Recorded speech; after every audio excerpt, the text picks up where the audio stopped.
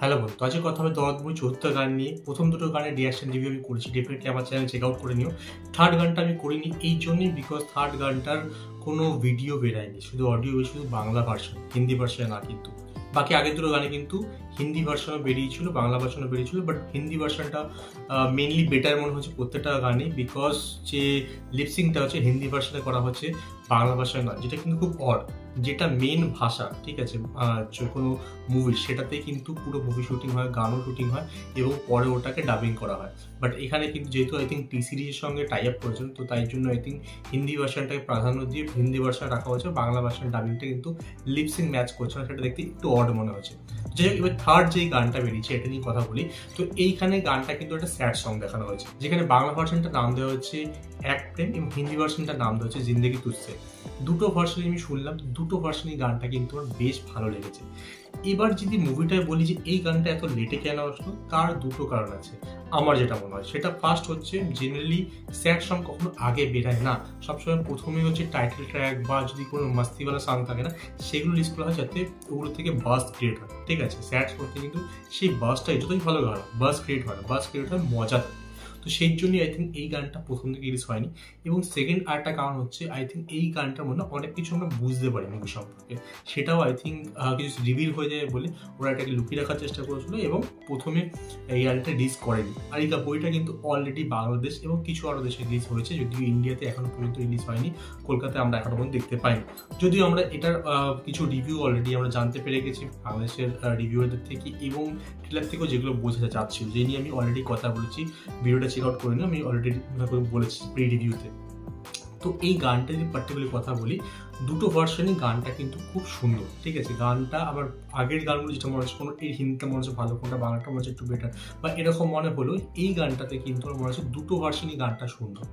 এবার বাংলা ভাষাটা গেছে ইমরান এবং হিন্দি ভাষাটা গেছে রাজবাবু তো দুজনের ভয়েসটা কাইন্ড অফ সিমিলার মনে হচ্ছে, কারণ মনে হচ্ছে দুটো ভার্সন যেন একই লোক গিয়েছে। বাট যদিও দুটো দুটো ডিফারেন্ট লোক গিয়েছে বাট শুনে মনে হচ্ছে একই লোক গিয়েছে এবং দুটো ভার্সনে শুনতে খুব ভালো লাগছে, ঠিক আছে? আর এই ভার্সনের গানগুলো থেকে না, একটা জিনিস আমরা খুব ভালো বুঝতে পারি, সেটা হচ্ছে অ্যাক্টিং বিকজ বাকি ভার্সনগুলো কি ছিল? লিপসিং ম্যাচ করছে না ডান্স করছে না অল দোজ থিং ছিল, অনেক জাঁকজমক ছিল গ্লসি ব্যাপার ছিল। যেটা কিন্তু এই গানটা একদমই যেটা দরকার নেই। এটা পুরোপুরি একটা ইনডোর শুটিং ঠিক আছে? একটা ঘরের মধ্যে শ্যুট হয়েছে জাস্ট দুটো ক্যারেক্টার আমাদের হিরো দুলু নিয়ে এবং তার বউ, ঠিক আছে? সোনাল সোনাল চৌহান যে অ্যাক্টিং করছে। দুজনের ক্যারেক্টার দেখানো হচ্ছে এবং দুজনেরই অ্যাক্টিং এখানে খুবই ভালো। যদি সেটা না হতো, এই গানটা ওয়ার্ক করতো না বিকজ এই গানটাতে কোনো লিপসিং কিছু নেই জাস্ট ব্যাকগ্রাউন্ডে গান চলছে এবং এদের ইমোশনটা বোঝা যাচ্ছে।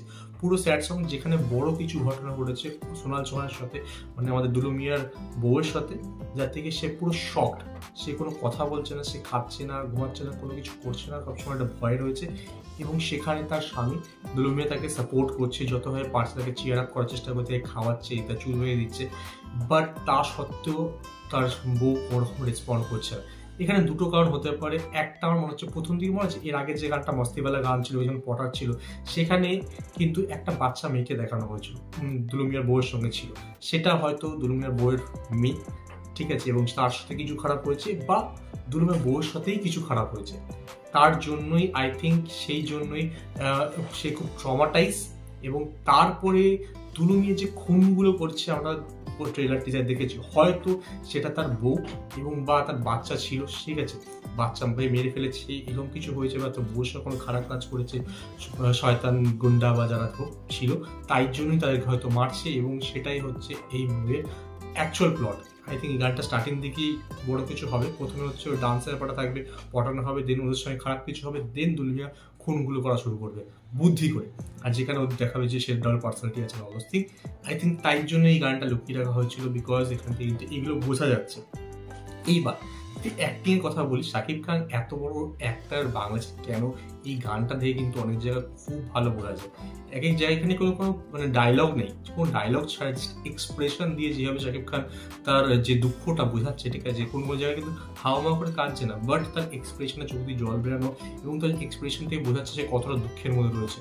তো সেইটা দেখে বেশ ভালো লাগল যে কতটা ভালো অ্যাক্টিং মানে যদি অপশন দেওয়া হয় অপরচুনিটি দেওয়া করতে পারে, সেটা বোঝা মানে শাকিব খানকে দেখি। এবং সোনাল চৌহানকেও বেশ ভালো লেগেছে। তারও কোনো ডায়লগ নেই কিন্তু। জাস্ট থেকে পাথর হয়ে যেতে হবে।